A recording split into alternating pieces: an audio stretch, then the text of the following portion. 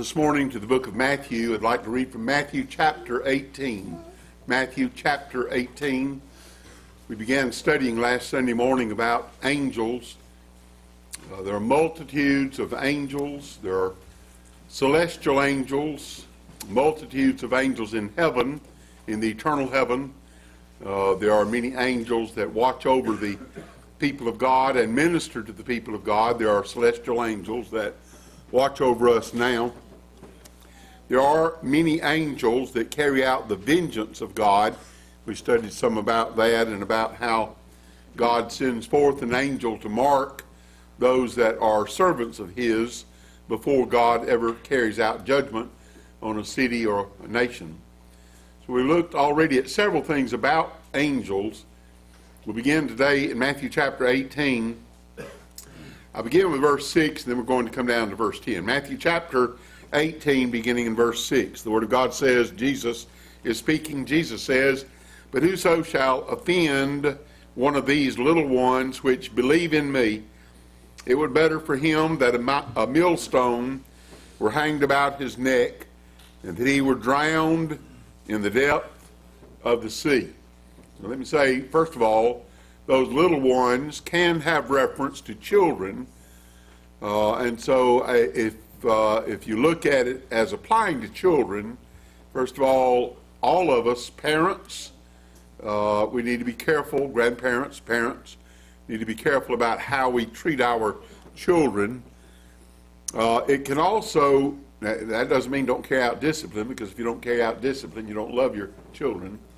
But uh, you need to be more careful about the words you say to your children and be careful that what you say and how you say it is uh, not contrary to God's word.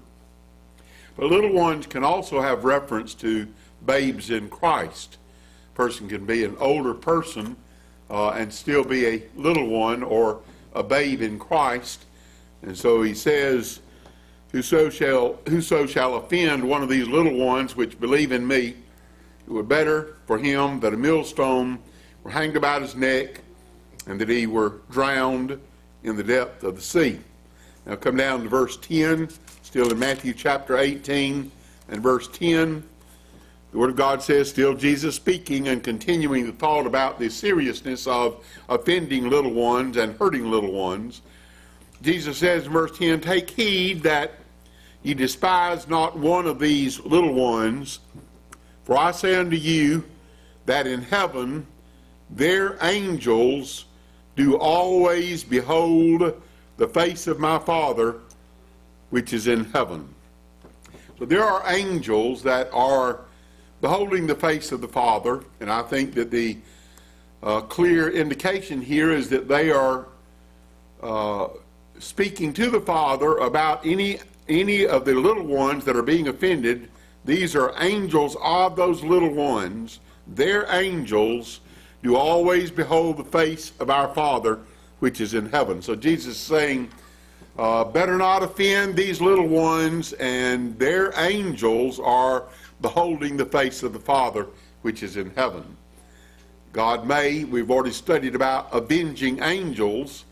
So if those angels of those little ones are beholding the face of the Father, it may be that the Father sends those angels to carry out vengeance on those who offend little ones.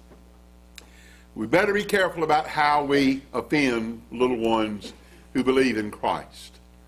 Now then, turn your Bibles to Luke chapter 1. I want us to begin now to look at angels speaking to people. In uh, looking at angels speaking to people, there are Old and New Testament examples of angels speaking to people. We'll look at two or three examples in the New Testament of angels speaking to people. It's very important that we understand that sometimes people think they've heard from angels or think they've heard from God, but the message they've heard is contrary to what the Word of God says. And so it's very important because I've had many people tell me, well, God said this, God told me to do this, God told me to do that. It's a very serious matter when you say God told you to do something And if, if you think God has ever told you to do something contrary to what the scriptures teach, that was not God and it was not angels of God that were speaking to you. But God does speak to his people sometimes. God speaks to his people. Sometimes it's in a still small voice. Sometimes it's in a loud voice.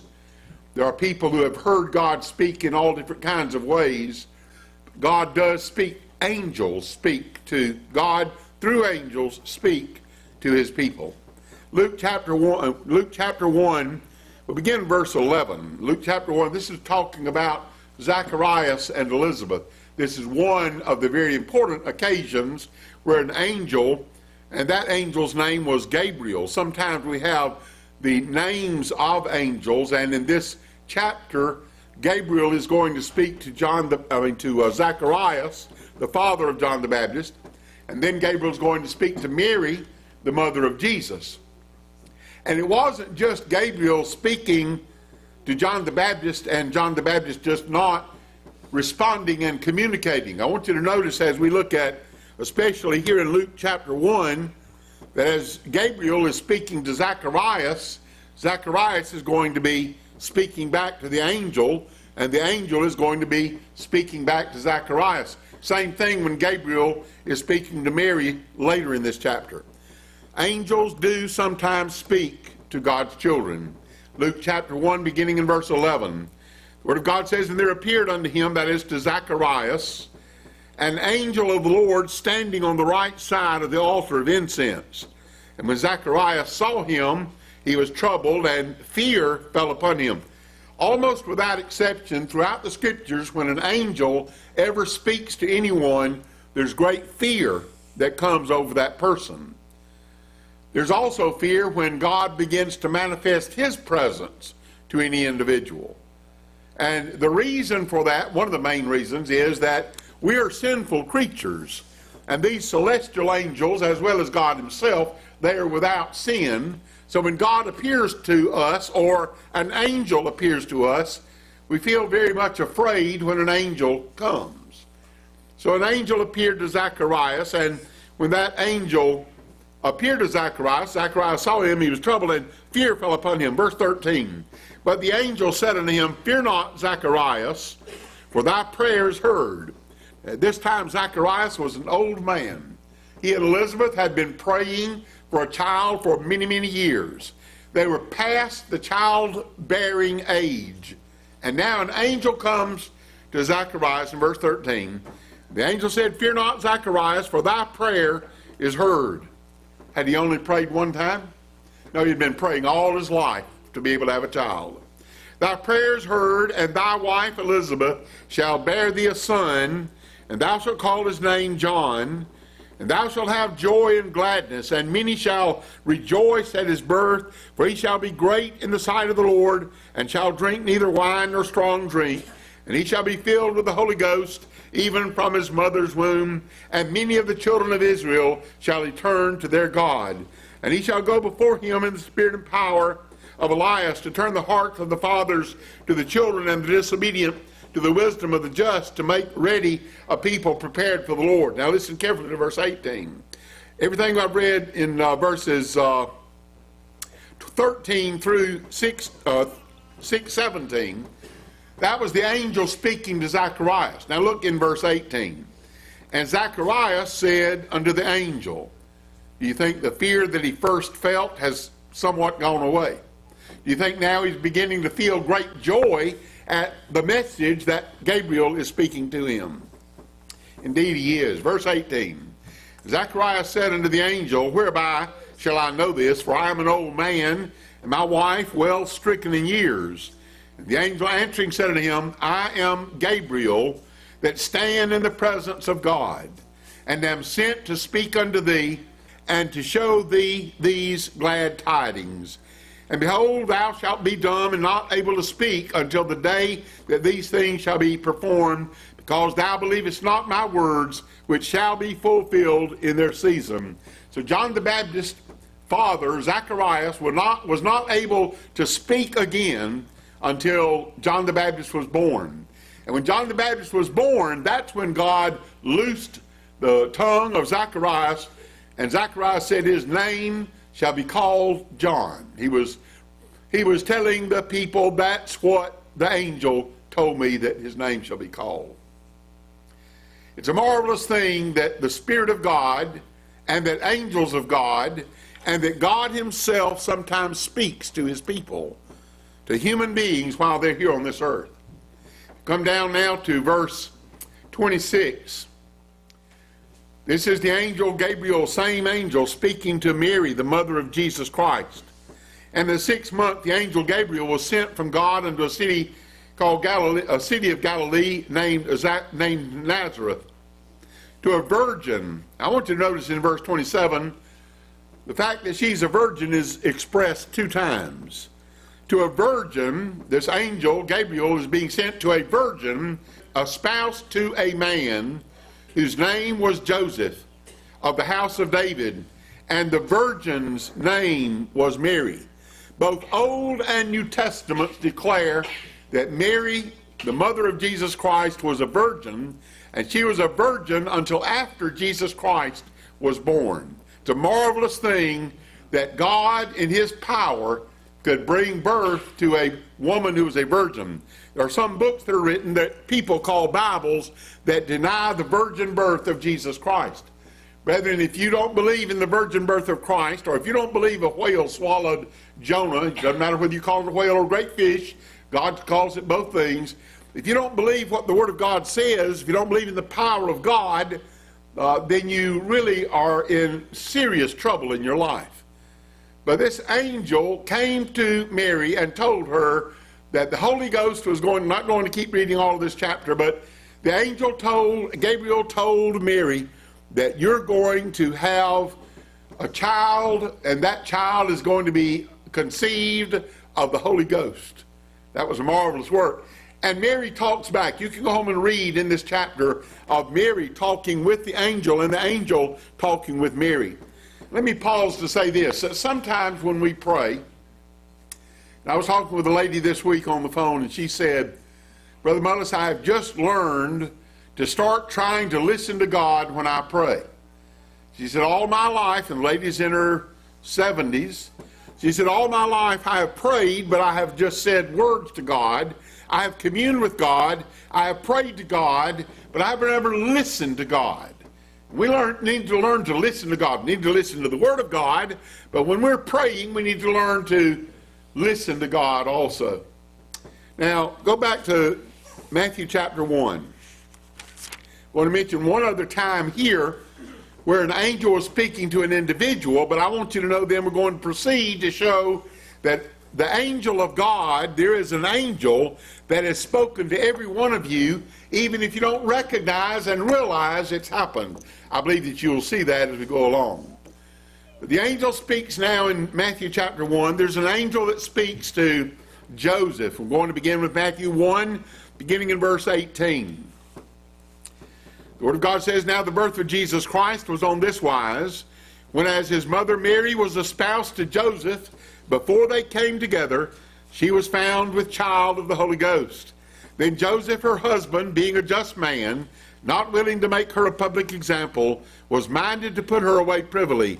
But while he thought on these things, behold, the angel of the Lord appeared unto him in a dream, saying, Joseph, thou son of David, fear not to take unto thee Mary thy wife, for that which is conceived in her is of the Holy Ghost. And she shall bring forth a son, and thou shalt call his name Jesus, for he shall save his people from their sins. I want you to know that God named John the Baptist. It was a miraculous birth. John the Baptist was a miraculous birth. The angel spoke to Zacharias, telling him that they were going to have a son. And now the angel spoke to Mary, told her about her being with child, her going to be with child. Now the angel is speaking to Joseph. It's a, it's a wonderful thing, brethren, to think about the fact that God does speak to his people.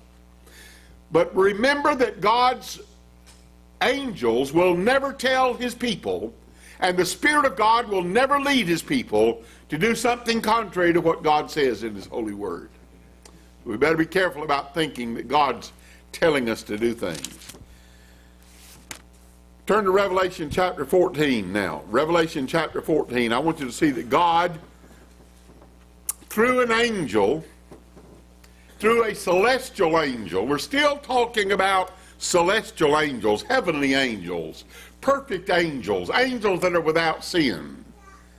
Revelation chapter 14 and verse 6, the Word of God speaks about a celestial angel that has spoken to every one of the born again children of God that have ever lived. Revelation chapter 14 and verse 6. John says, and I saw, and he saw many angels. You read the book of Revelation, you'll see him seeing many angels and hearing many angels. Verse 6 says, Revelation 14, 6, and I saw another angel fly in the midst of heaven, having the everlasting gospel to preach unto them that dwell on the earth and to every nation and kindred and tongue and people. Who was this angel speaking to? Every nation and kindred and tongue and people. Now, if you'll back up to Revelation chapter 5, you'll have a clear picture of who those people are. Revelation chapter 5. We're going to come right back here and see what the angel said. But I want you to know that the people that this angel is speaking to and preaching to, preaching this everlasting gospel, it's to the elect family of God who have been redeemed by the blood of Jesus Christ. Look in your Bibles at Revelation chapter 5, beginning in verse 9. The Word of God says, And they sung a new song, saying, Thou art worthy to take the book and to open the seals thereof. For thou wast slain and hast redeemed us to God by thy blood out of every kindred and tongue and people and nation. Do you see that Jesus redeemed a people out of, he did not redeem, redeem everybody, he redeemed a people so great that no man can number out of every nation and kindred and tongue and people.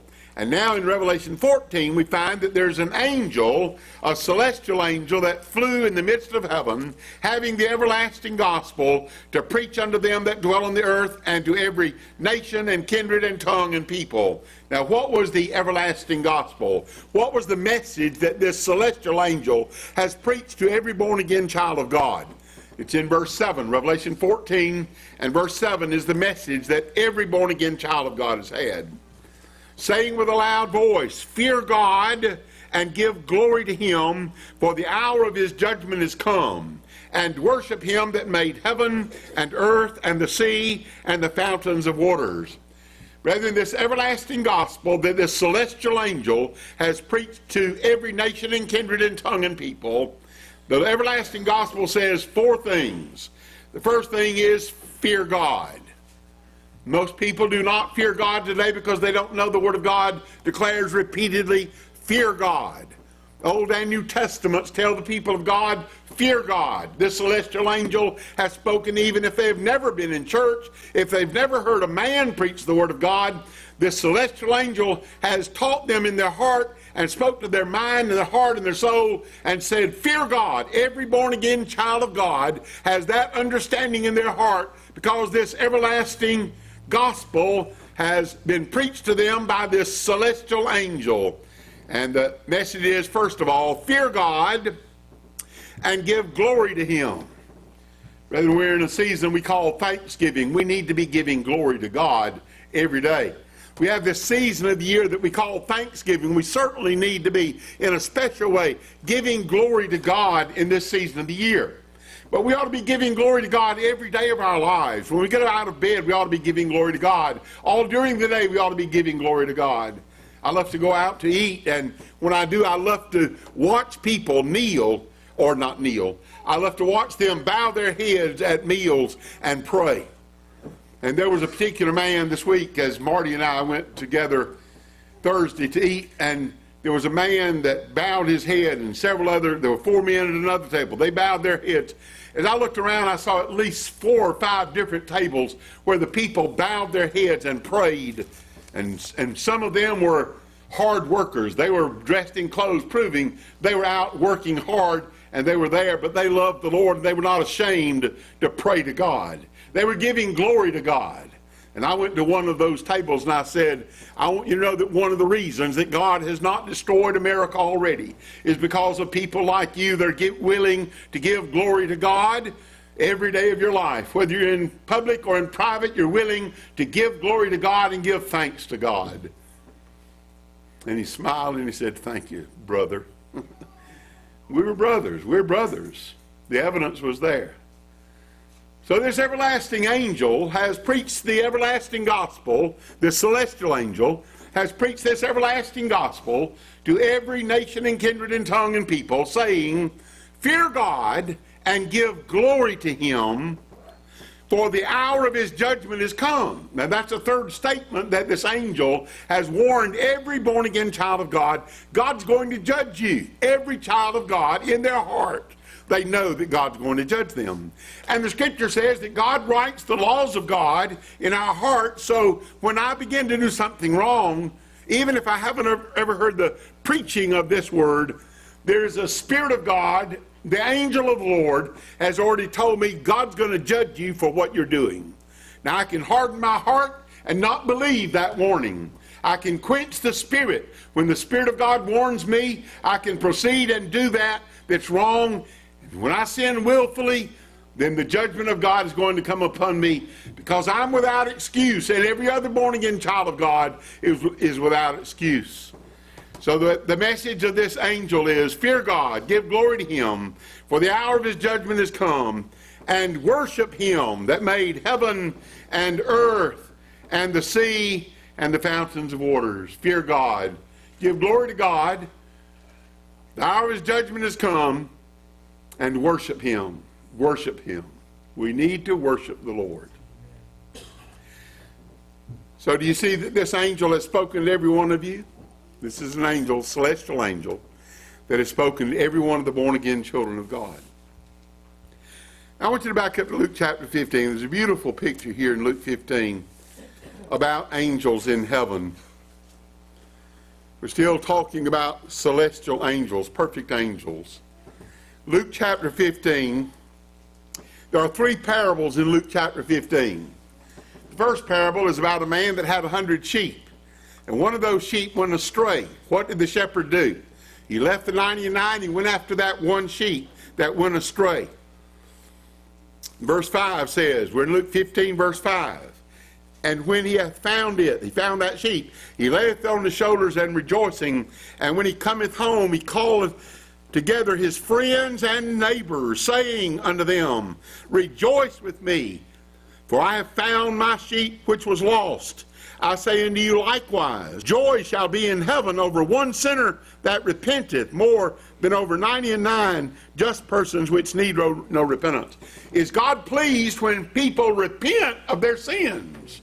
And this man called his neighbors and his friends, and he wanted them to rejoice. The shepherd was rejoicing. He wanted his neighbors and his friends to rejoice. And then the scripture says there's joy in heaven over every sinner that repents. We all need to repent of different things, but we better repent. And then he talks about a woman that had 10 coins. She lost uh, one of those coins. And she began to search her house for that one coin that was lost. All three of these parables about persons about one out of a hundred sheep that was lost. The second one is about one out of ten coins that was lost. The third one is about one out of two sons that was lost. The second one, the woman that lost one of those ten coins. When she found it, verse 9, we're in Luke 15, verse 9. Listen carefully now, this is the main thing we came after. Verse 9 says, And when she had found it, she called her friends and her neighbors together, saying, Rejoice with me. I'll tell you, brethren, we ought to rejoice with one another. We've got a lot to rejoice about. And so this woman called her friends and neighbors and said, Rejoice with me, for I have found the piece which I had lost. Now listen carefully. This is the main point. Verse 10. Likewise, I say unto you, there is joy in the presence of the angels of God over one sinner that repenteth. You hear that? Not only are the, the individuals that found what they had lost, not only are they rejoicing, but their friends and their neighbors are rejoicing. But more importantly, in verse 10, it says that there is joy in the presence of the angels of God over one sinner that repented. Can you imagine that? The angels in heaven are rejoicing. Every time there's a sinner that repents, the angels of heaven are rejoicing. That's a wonderful, marvelous picture to me. Now, so far, all we've talked about is celestial angels. Now we're going to begin to look at terrestrial angels or human angels. That is, individual. What does the word angel mean? What does the word angel mean? It means a messenger. Angel is a messenger. It also means an angel is a ministering spirit. So an angel is a messenger, and an angel is a minister, according to the Word of God. He's a messenger, and he's a minister. And there are men who are called by God to preach the gospel of Jesus Christ, and they are angels. Does not mean they are without sin. They're completely different than the celestial angels. They're human beings. Scripture says in John chapter 1 there was a man sent from God whose name was John. I'll tell you, brethren, he was a man, but he was a man sent from God. And he was called by God to preach the Word of God to the people of God.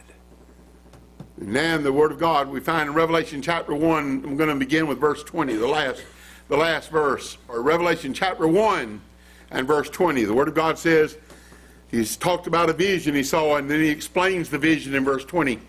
He says, The mystery of the seven stars which thou sawest in my right hand, and the seven golden candlesticks. The seven stars are the angels of the seven churches. And the seven candlesticks which thou sawest are the seven churches. So the seven stars are the what? They're the angels of the churches. And the seven candlesticks are the churches. Next verse, chapter 2, verse 1. Unto the angel of the church of Ephesus write. Brethren, when he says unto the angel of the church at Ephesus, he's not talking about a celestial angel. He's talking about the pastor or the preacher or the minister that God's called to preach the word to the people. Every church, that's the church of Jesus Christ, every one of them has a man called by God to preach the word of God until God withdraws his spirit from that church. And God does sometimes withdraw his spirit from churches. And when that happens, then God does not send preachers to preach to them anymore. Once God is through with the church, once God has removed his candlestick, it can still be a religious organization, it can still be a civic club, it can still be a group of people come together, but it is not the church of Jesus Christ when God has removed his spirit. And when God removes his spirit, he no longer sends angels to preach to those individuals. So the Word of God says, and, and you can go home and read each of these. Revelation chapter 2, verse 1. Unto the angel of the church of Ephesus write, These things saith he that holdeth the seven stars in his right hand. What are the seven stars? What are the seven stars? They're the seven angels. Who holds the seven stars in his hand? God does the seven stars in his right hand, who walketh in the midst of the seven golden candlesticks. Who is it that's walking in the midst of the seven golden candlesticks, holding the stars in his right hand? Jesus Christ is walking and he is judging the churches and he, and he speaks to this church through the angel. Listen carefully. He speaks to this church and to each of these seven churches of Asia. He speaks to them a message from Jesus Christ to the people of God in that church. And the angel, that man that God's called to preach the word, he preaches the word to those churches. And these churches are, some of them, most of them, are being warned by God that unless they change and unless they repent, that God was going to remove his candlestick, he was going to spew them out of his mouth. The churches were going to cease to be the church of Jesus Christ unless they did one thing. What was the one word that he told every one of them they needed to do? They needed to repent. That's exactly right.